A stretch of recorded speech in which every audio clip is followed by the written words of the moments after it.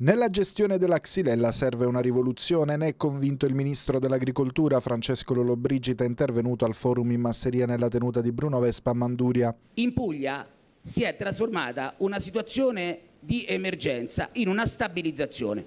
Un'emergenza è un'emergenza, non te ne sei accorto, è successo e ripari il danno. Ma se dopo 14 anni che appare un fenomeno la continui a chiamare emergenza, è irresponsabile come atteggiamento e quindi abbiamo inserito una prima tranche di 30 milioni. La Xylella per il Ministro è un problema consolidato per il quale è necessaria un'azione strategica, convinto che insieme al mondo agricolo si debba ragionare su come rendere più forti le colture dell'ulivo in Puglia. Oppure di riconvertire, ove ci fosse la volontà da parte degli imprenditori agricoli di farlo, in culture eh, differenti, ove la Xylella diventa un fenomeno non arginabile. La prima volta che si torna a fare un decreto agricoltura dedicato esclusivamente a questo eh, tema che mette insieme la necessità di sostenere la filiera del grano. La filiera del grano va sostenuta però per l'incentivazione a maggiori produzioni di grano e a maggiore qualità del grano e gli interventi dei 30 milioni che abbiamo previsto per questo, ulteriori 30 milioni rispetto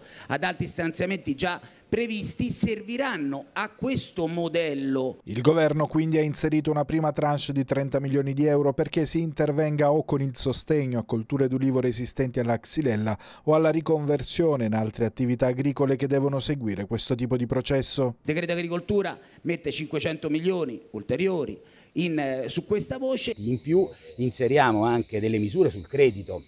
Noi abbiamo eh, una moratoria sul credito per le aziende che hanno avuto un calo di produzione del 30% quest'anno che hanno eh, perso il 20% del valore dei loro prodotti lo scorso anno, abbiamo misure per il contenimento eh, dei tassi di interesse con un intervento di ISME, altri 20 milioni previsti su questo argomento.